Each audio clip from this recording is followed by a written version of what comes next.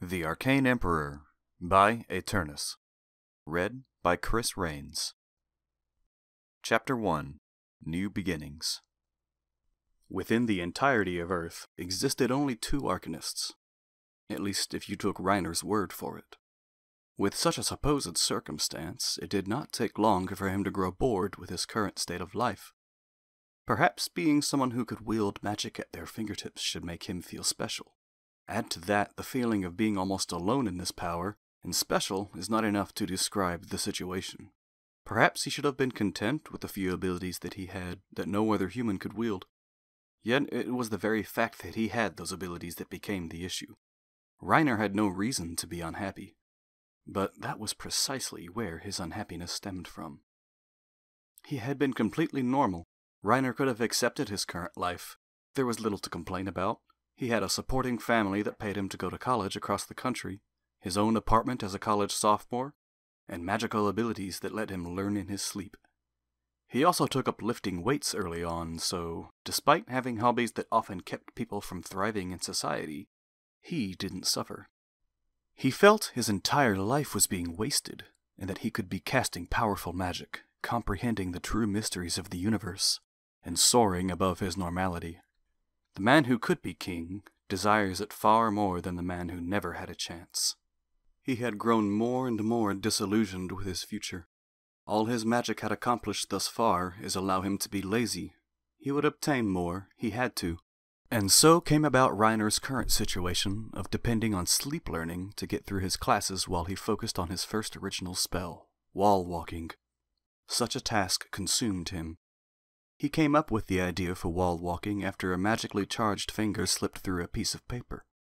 Of course, he ignored the fact that it didn't pass through the paper, but burned through it.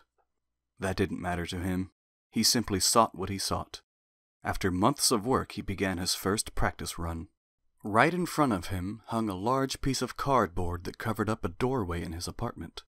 He would try to pass his hand through the cardboard, and then his whole body. The reverse engineering of the spells taught by his grandfather, combined with the modern knowledge of molecules, led him to this point. At the very least, he created a spell that did something. Whether it did the right thing or catastrophically failed had yet to be seen. He paused for a moment before deciding to write something down in case of said catastrophic failure.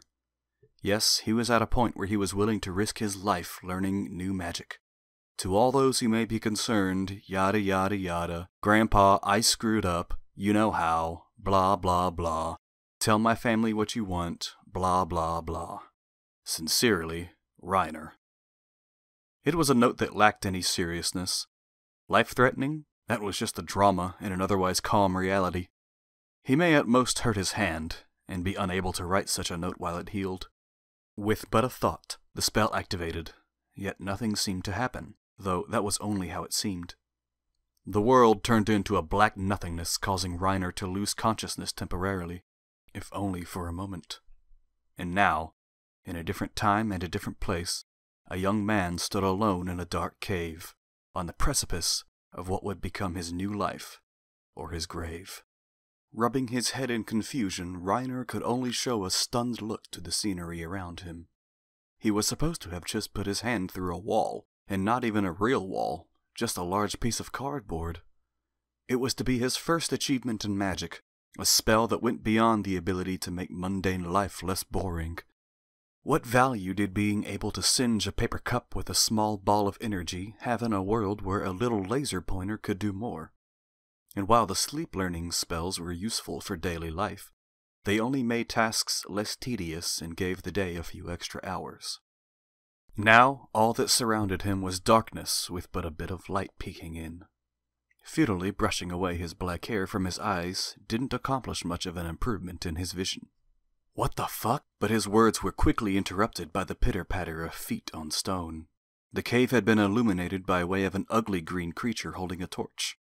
The creature stood at just under five feet in height, about a foot shorter than the man he was now looking at. As soon as the torchlight showed a strange human, in what would seem to the creature an odd pair of black pants alongside a black tunic, a guttural snarl roared out. Clearly, negotiation was not on the table. Immediately, the creature drew a dagger from its waist and charged Reiner at the speed equal to an Olympic athlete. Stunned at the utterly strange sight, Reiner acted almost on instinct and released a singe spell. Yes, the very same one that would only annoy a mouse. However, what came out was not a small ball of white and violet light, but a large bolt. With the speed of a fast pitch, the arcane bolt slammed into the chest of the goblin, staggering his entire body. Utterly shocked at the newfound power of his spell, Reiner paused for a moment before he cast, again and again, still filled with adrenaline. Before stumbling backward, Reiner managed to get off two more bolts. They slammed into the goblin before it fell lifeless to the ground, just a few feet away from Reiner. A torch drop echoed and now still burned at the fallen goblin's side. 5% experience gained. Such a message appeared on the bottom right of Reiner's vision before fading. The shock of killing another living thing hadn't set in, for all his current focus was on the message icon that had just appeared. A HUD message? The fuck? However, as someone who was an Arcanist, Reiner didn't take long to accept his current reality, or to imagine what exactly this reality was. Somehow his wall-walking spell teleported him here. Somehow he had gained experience no different than if he was in a game. And now, more importantly, was the fallen corpse of a creature that represented a stronger version of the classic goblin that was right in front of him.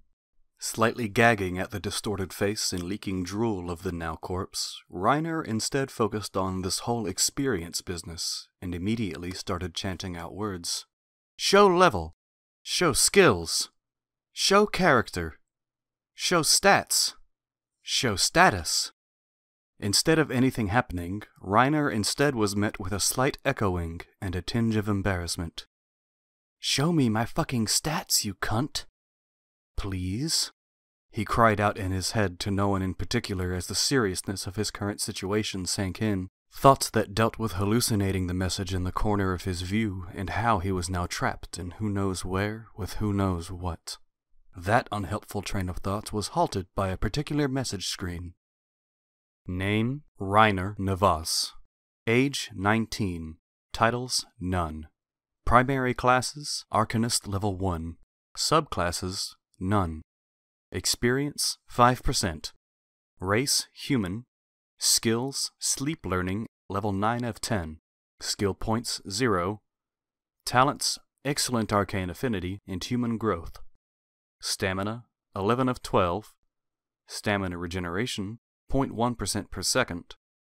Mana 7 of 13. Mana Regeneration 0.001 per second.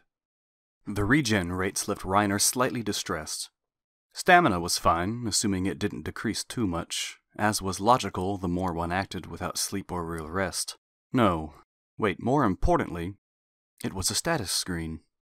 He began trying to figure out how pitiful his mana was, opting to temporarily ignore the issue of any of this even existing. One mana point took 1,000 seconds to regenerate, or roughly 16 minutes. One arcane bolt cost 2 mana. One goblin could be killed with 3 arcane bolts. That meant for about every one and a half hours he could kill a single goblin. More importantly, he could only kill two goblins at full strength. Two goblins are 10%, and that was only for level 1. 30 hours.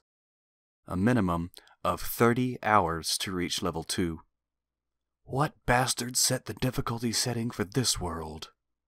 Constitution 11, Affinity 13, Vitality 10, Endurance 12, Strength 12, Dexterity 12, Intelligence 14, Willpower 10, Attribute points 0.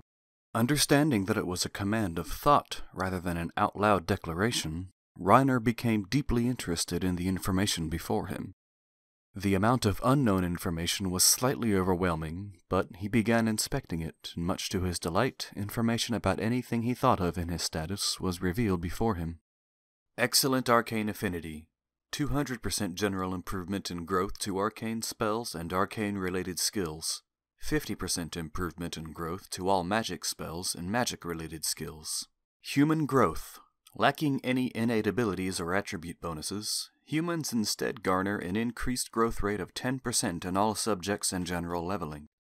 Arcanist level 1 of 25. As a seeker of the arcane, the true origin of magic, all secrets of the universe await thee. 100% general improvement and growth to arcane spells and arcane related skills. 25% improvement and growth to all magic spells and magic related skills. Allows the initial learning of any skill far easier than normal. Plus 2 intelligence, plus 2 affinity, plus 0.5 willpower, plus 0.1 all attributes per level past level 1. This, combined with the affinity, he understood, is what gave his formerly useless spell such an impact. However, an issue was still at hand. Even a possible 300% or larger increase wouldn't explain the changes to his arcane bolt, as it was now called. For now, he decided to shelve the issue and instead thank whoever created this system for not letting his end be at the hands of a mere goblin. This, of course, ignored the fact that the goblin was certainly far too fast and coordinated to be called a mere goblin. Human denotes one as a member of the human race, giving them the talent human growth and the base attributes of a human of their age and ability. Arcanist subclass bonus 25% general improvement in growth to arcane spells and skills. Subclass bonus, he assumed, was the only bonus he got when a class was a subclass, though how that happened, and more importantly, whether it could be easily changed afterward, was not something he was willing to try at the moment. Next, it was time to look at what each attribute did, though he was confused at the actual values. His bench at roughly 275 pounds was roughly two times that of the average male. This didn't mean he was two times as strong in general as a human male, but it certainly didn't seem right to only be at 12 when he didn't only bench press. Though, assuming 10 represents average, may be at fault here. There was also the adaptation of the nervous system that significantly improved strength. So then wouldn't the attribute strength only be referencing muscular strength? Isn't that faulty? In the first place, even the fastest Olympic sprinter didn't even reach twice as fast as an average human, so perhaps it was accurate. There was nothing to glean from the numbers of his stats apart from obvious conclusions until he had a larger sample size. Some of the exact effects of affinity, stamina, and willpower had numerical representations. Constitution improves the durability and defense of one's body.